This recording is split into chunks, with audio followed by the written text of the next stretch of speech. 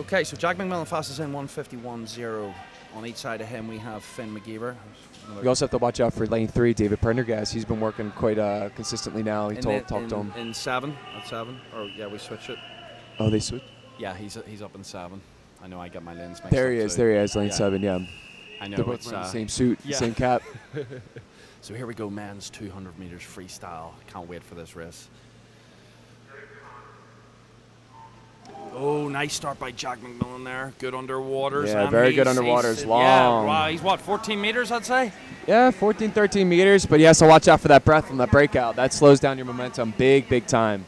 Yeah, you want to you want to transition. You, I remember seeing that footage from the NCAA's Yep. uh, just recently with Caeleb Dressel unleashing those big butterfly kicks Yep. and then right up into the stroke without moving that head. So, like you said, you don't want to you don't turn that head. It's like slamming on the brakes in a car. Exactly. So there he goes again, but he's out in a uh, 25.21. Strong, strong kick behind and him. Controlled. Look at that distance per stroke, Shane. Oh yeah. And just ahead of the uh, the American there in lane five. Julian very even matched right now. Very, very. They're all together from from two to seven. They're all pretty much even together.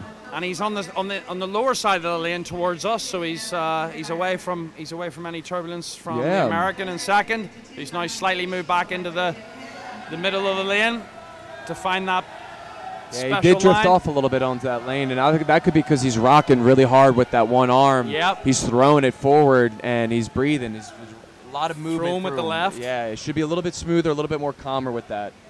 But he's looking great so far. So five meters to go now, coming into the 150 mark, 50 meters to go, and 121, 21. 121. So he needs to come back. home. If he's Looks back in strong, good 28, he's under that one. He's under that. Well, his best is a 151. Sorry, a 150.32. So it'd be fantastic to see him get under that 150 mark. Here he goes, the young Here Jack McMillan, so- breathing every stroke. The American Hill second, and Go then Jack. third. It could be down in two. Jerry Quinn. But Jack McMillan slightly ties up, but he's got it. Whoa, 150.34. It could have been that finish, Shane. Could have been the finish. Could have been the finish. Yeah. We'll see a replay here. It was a bit of a staggered finish.